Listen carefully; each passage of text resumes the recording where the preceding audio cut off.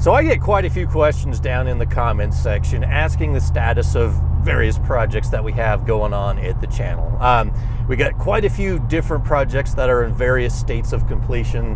Uh, some of them you haven't seen in quite a while, some of them you see a little bit more than others. So I figured today, um, since we're driving the ugly truck to work, I'd answer that and give you guys kind of like the status update of all the projects that I am currently involved in on my channel because it's like, well, what about this truck? When are you going to get back on that truck? Whatever happened to this truck? Are you ever going to finish the Mustang?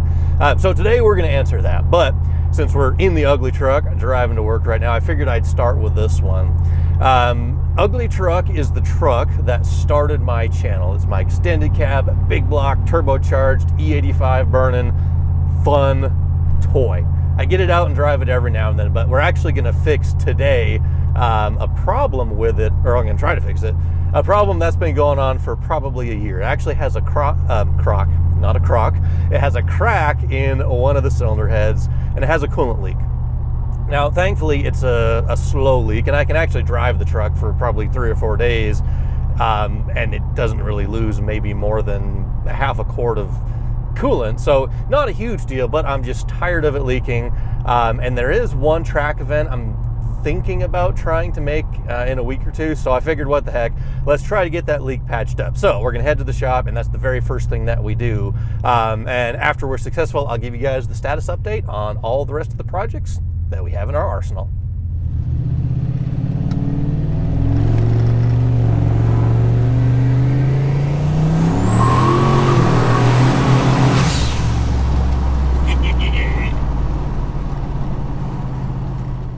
So now that we got everything nice and toasty warm underneath the hood, of course, we're gonna immediately jump in and start working on it.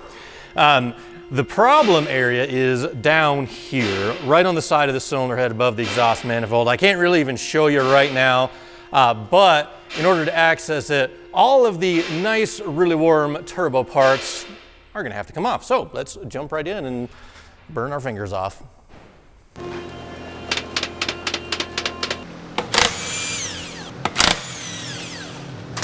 I still technically am bedding these uh, these brakes in the big claw from Baer, so I probably shouldn't drive so enthusiastically, but I mean, come on, it's got a turbo.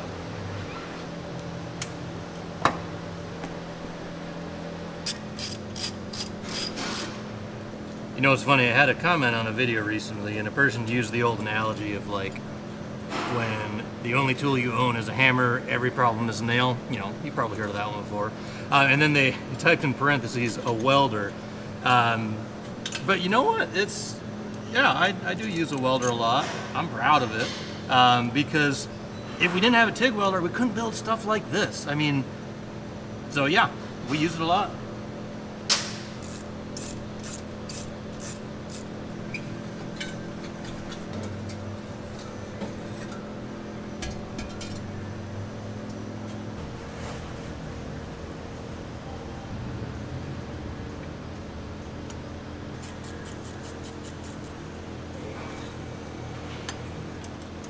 This is an awful lot of work to do just on the hopes that I can fix this crack. I think I can, pretty positive, but never really know. I got everything loose except for the bottom two. Um, so if you could kind of go down there and get those two bottom turbo bolts out. It's a little warm, so I will hold it up here. Uh,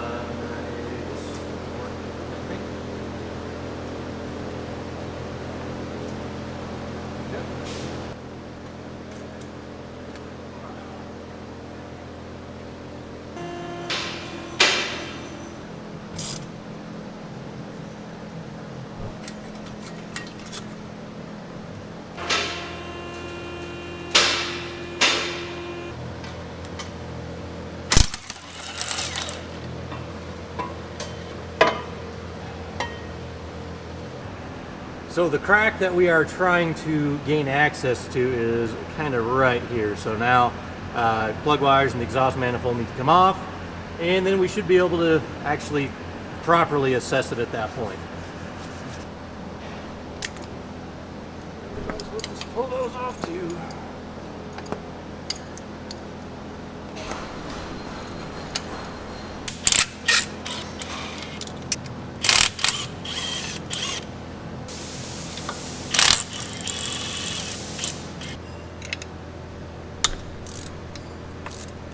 Fun fact, these S400 turbochargers weigh about 50 pounds and normally all that holds them up is just this flange right here. That's a lot of weight. So uh, I designed this beefy quarter inch uh, plate both to the front of the cylinder head and this provides a rock solid point to mount this from. And this is all like heavy wall tube, super thick. And the reason why I know how much an S400 weighs is because I was just online looking at new turbos and that's what they advertise the shipping weight as.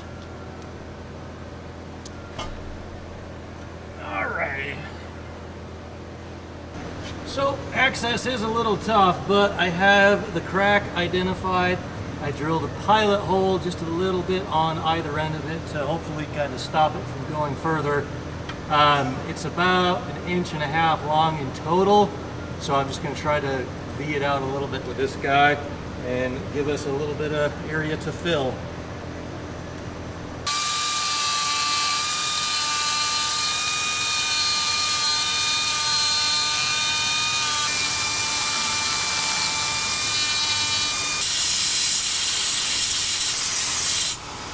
Um, I can't remember if I mentioned it already or not, but this is 100% my fault.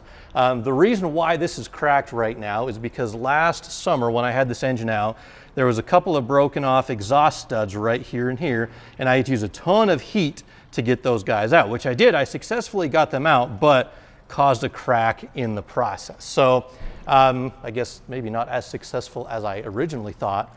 The process that I'm going to be using is, well, it looks like this. This is TIG brazing. So you've seen me use the TIG welder a lot and mainly the difference between TIG welding and TIG brazing.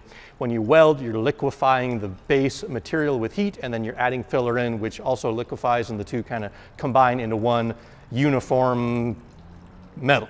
When you're brazing, you're heating up the base metal, but you're not liquefying it. You're only liquefying the filler and it kind of flows like hot glue. That's probably the best way um, I could describe it. And this is sort of what it looks like. Um, and it has this gold color because I'm using um, aluminum bronze filler metal, which according to my quick Google search, is the ideal material to attempt this repair. The crack, it starts, I'll zoom in a little bit. Crack starts way up here and it goes all the way down to about right here. Uh, and oh, fun fact, by the way, a Dash 6 AN plug happens to be the same exact size as a 5.8 spark plug. Um, so you can put that in just to stop any dust or whatever from getting inside your engine. But um, yes, that is the crack right there. So wish me luck because this could go really good or really bad.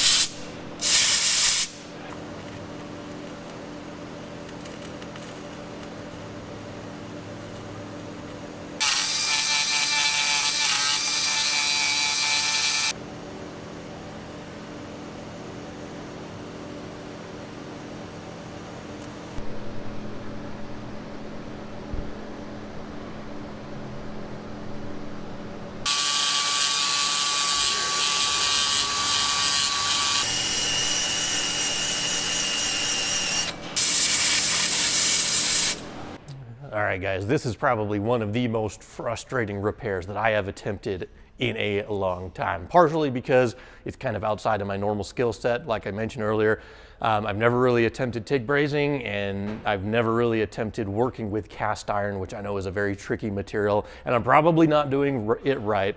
Technically, the head probably should come off and we should put it in an oven and preheat it to do this quote unquote the right way. But uh, here's kind of what I'm experiencing. Uh, we're just chasing cracks at this point. I'll zoom in a little bit, try to hold the camera steady and show you. But um, if you remember, we started out with just a single crack kind of going from about here to here right down in the middle. But now the area of brazing is all the way around here. And basically, uh, once I got this sort of patched up, I'd find a little bit of a crack that would start to form out this way. And I'd kind of get that one patched up. And then um, there'd be a crack go along the edge down here. There's a crack down here. Um, basically, just as we add heat and as we try to flow that filler material in there, we just have more and more cracks that are starting to propagate. Um, my initial goal at the beginning of the day was just to seal up the cooling system so we don't have any leaks. Um, I do not have, apparently, the skill set or the patience, after six hours on it, to try to do this the right way. And my fear is that if I continue on, the repair area is just to get bigger and bigger and bigger, and I don't know if ultimately I will be able to seal up all the cracks. So I'm giving up. Like I said, I, um, I hate even saying that. I hate admitting it because I'm stubborn. I spent a ton of time on this, um, and I thought I could get it, but uh, it happens. So what do we do from here? That's the million dollar question because remember, my first goal, get this thing patched up so it doesn't leak. Um, I did start looking at a few different options, like you can get remanufactured cylinder heads. Um, so I thought, well, I could pull one off and just replace it, which would be a good option. But I hate spending money and time for lateral moves to be back in the same place that we are now. Now, if you recall, I'm trying to chase a nine second quarter mile goal with this thing. And I know I'm gonna have to do more work to the engine at some point. So if I'm pulling a head off, short version is I want to put something better back on, like the PSI ported 8.8 heads that Hank Slocum offers. Uh, we put a set on a truck earlier this spring, and they're a really great option. So that's probably what I would want to do if I ended up pulling heads off. But I'm not quite ready to dive into this project again right now because um, I've got a bunch of other stuff on my plate. I still wanted to get the drag truck fired up this year. And yesterday I even thought like, well, shoot, why don't I go down and get that motor, the 535 big block, and put it in here instead of this one. But um, that's not really the direction I want it to go. Um, I want to get the S10 done, so I don't really want to dive into this just yet. So I'm ashamed to admit this, but I'm going to try something which it, it might work, and I think it'll be okay. But we're going to try some JB Weld. Um, this is a decent product, and uh, the only reason I was a little bit hesitant, because um, if this were on a different spot of the head, it would work just fine. Um, I was just a little bit nervous because it is in the proximity of some very hot stuff. Um, the surface of the cylinder head is probably only going to be 200, 250 degrees. Uh, coolant temp is, you know, right around 200.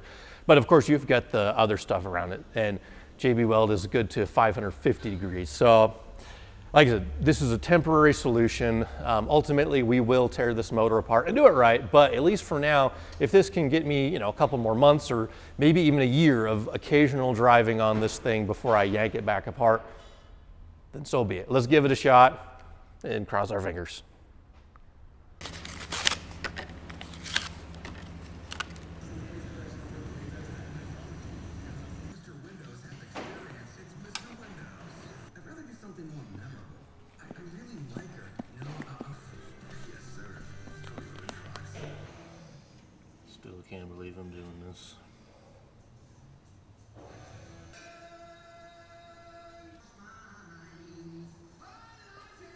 All right, it's Friday morning now. We have the repair at a state that I'm going to call intermediate success.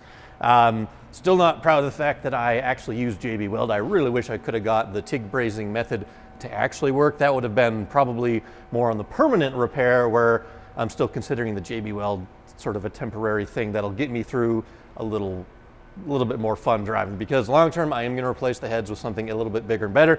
I just don't want to commit to that right now because as you can maybe see sitting outside, boom, S10. I'm really, I'm really anxious to get started on that part, uh, the LS swap for that. So don't want to open up another can of worms right now. But anyhow, that's what the repair looks like right now. Yeah, definitely not the prettiest thing, but I am calling it intermediate success because uh, we have the coolant pressure tester on there right now. It is holding a rock steady 16 pounds. So um, I know it's not going to leak right now, but the heat is kind of the only variable. Will over time, the exhaust manifold being next to that weld or the JB weld repair, will it cause it to fail? I, I don't know, but remember, temporary repair, long-term solution is different heads, different intake manifold, bigger turbo, probably bigger cam, and a lot more fun. We just don't want to get into that right now. So anyhow, um, we're gonna let that sit on there just for a little bit longer under pressure, just to 100% verify that we have no leaks. And then we'll slap this thing back together and go for test drive.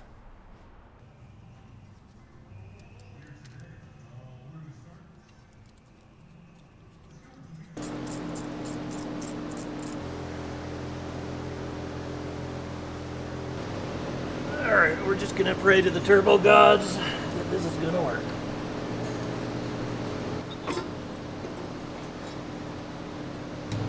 You guys wouldn't believe how many times I like start to do something, forget to hit record, and then have to take the thing back off and do it again. Not fun.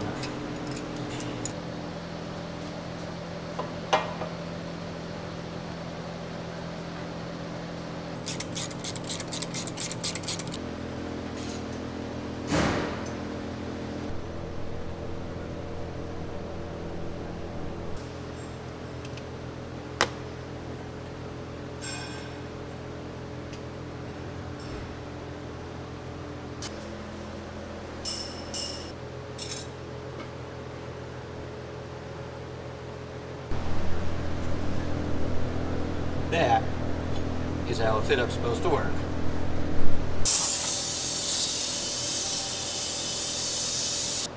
Still sucking it out? So I've got the ugly truck put back together pretty much, and I think this repair was successful. I still am a little bit bummed out that I had to use JB Weld and that I couldn't make the TIG brazing work out how I envisioned, but I think it's gonna be a good temporary repair. Remember, long term, we're gonna change a bunch of stuff. Uh, but I got the truck started up, I warmed it up, put it through a little bit of a heat cycle here on the lift. Um, and it doesn't really look the best, but so far it's holding up. I took my little laser thermometer and right here, that spot gets to be somewhere around like 200 to 210 degrees, which is well within the window that JB Weld is rated for. It goes up to 550 degrees Fahrenheit. Uh, so fingers crossed, again, it's temporary, but I think we are in the clear.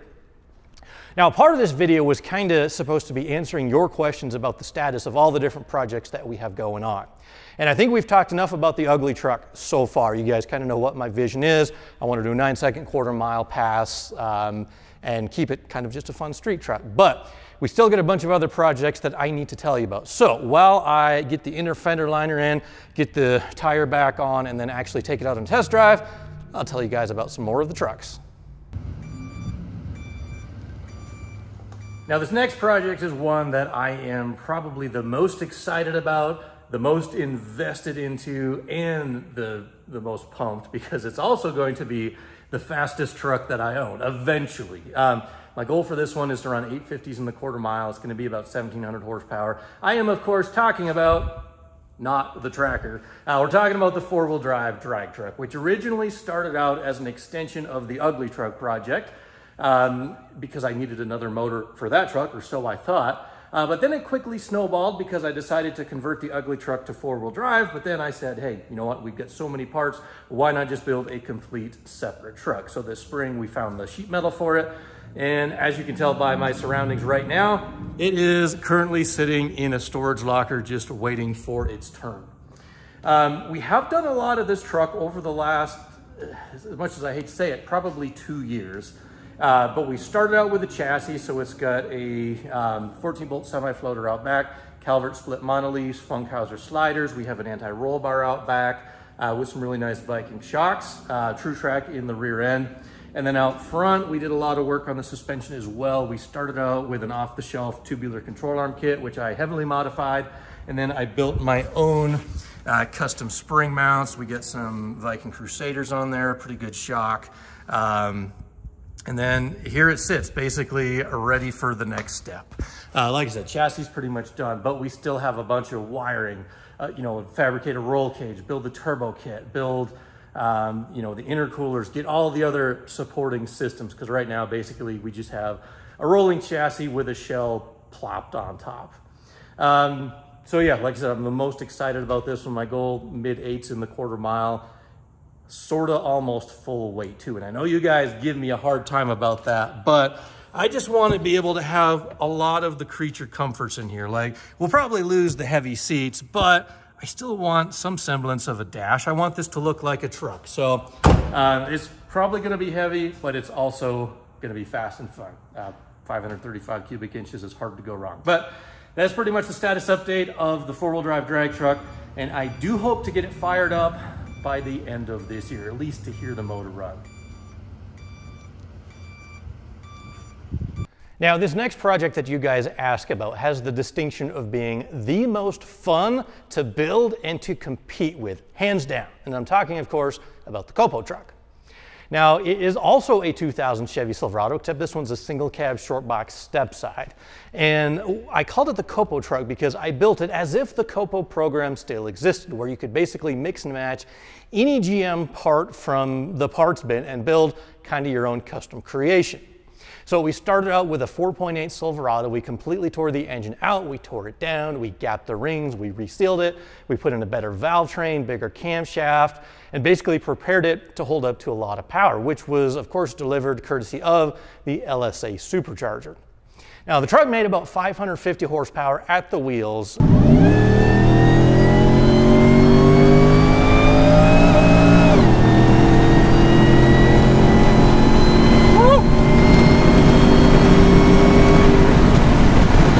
Screamed all the way to 7,000 RPM. But what made it the most fun and kind of unique was its full-time all-wheel drive system that we pulled from a Yukon Denali. Uh, that truck, it was an absolute blast. Like it didn't matter if the roads were dusty or icy or snowy or dry.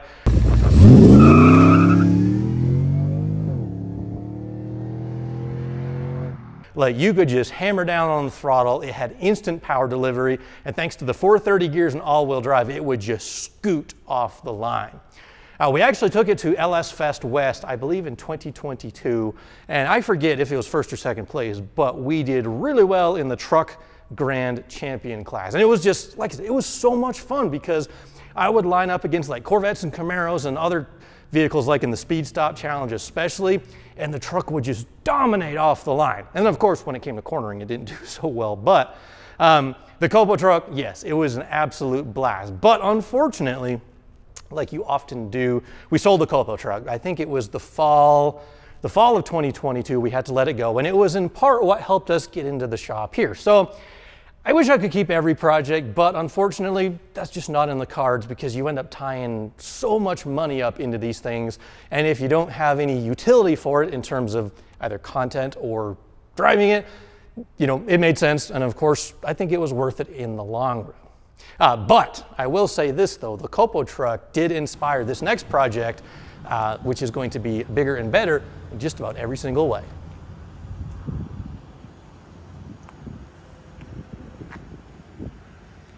So I am very excited to get the S10 done because with the V8 power, the all-wheel drive, and the lightweight, I think it's going to be an absolute blast. So that's kind of like the very next thing that we have to do on the channel is get that LS swap started. Uh, but there is one more project you guys do ask about quite a bit, and that's of course my New Edge Mustang. I think it was an 03. Uh, and I actually bought it right after I sold the Copo truck, right before we moved from Utah to Colorado to do the shop thing. Now, the plan for the Mustang, I had bought a 5.4 dual overhead cam motor uh, from a Lincoln Navigator. I found one of those cool Australian Boss 290 intake manifolds for it. I just wanted to build a cool mod motor Mustang, you know, turbocharged, I think, 1,000 horsepower drag slash street car. Uh, that, was, that was kind of the plan, but um, I drove it from Utah to Colorado. I drove it around here a little bit when I got here, but it just, as we were getting the shop up and running, I just decided, you know what, let's sell that car and let's figure out another project, which I think the S10 is kind of like the replacement for the Mustang. And I'd love to do another Mustang again at some point, maybe a Coyote powered one. Um, we'll see how that goes. But uh, yep, the Mustang unfortunately is no longer in the fleet. Now, looking forward, uh, there, is, uh, there are a few things that I have on my radar. For the most part, you see me building lowered street trucks, whether they're two-wheel drive, four-wheel drive, or big block or small block. They're all kind of in the same realm. And I really want to branch out. So one of the next projects, I have two that I'm deciding on, which this will be many, many months down the road. But I'm either going to build some sort of a long travel, high powered off road jumpy truck, as I like to call them, uh, something like a a Nissan hardbody, which was my first truck, with an LS, solid axle, long travel, coilovers, just a you know, turbocharged, just like a really cool, radical, lightweight off-roader. Or I want to build something that's small like a car, whether it's a, a, Mustang or a Camaro or a Corvette or, you know, maybe I'd even thought about doing some European stuff like, uh, which I know is kind of outside what you guys normally expect to see, but like a C63 uh, AMG I'd love to do, or even like a, um, what's the, not an E60, that's a 5 Series, but like a E, E90, an E90 series Beamer with maybe an LS swap. I, so anyway, my, my brain goes all over the place, but that's just one of the things that I am thinking about doing in the future because like I said, we still have to get through the current roster of projects. I want to get the four-wheel drive drag truck fired up and on the road. I want to get the S10 LS swapped and kind of daily driving it again.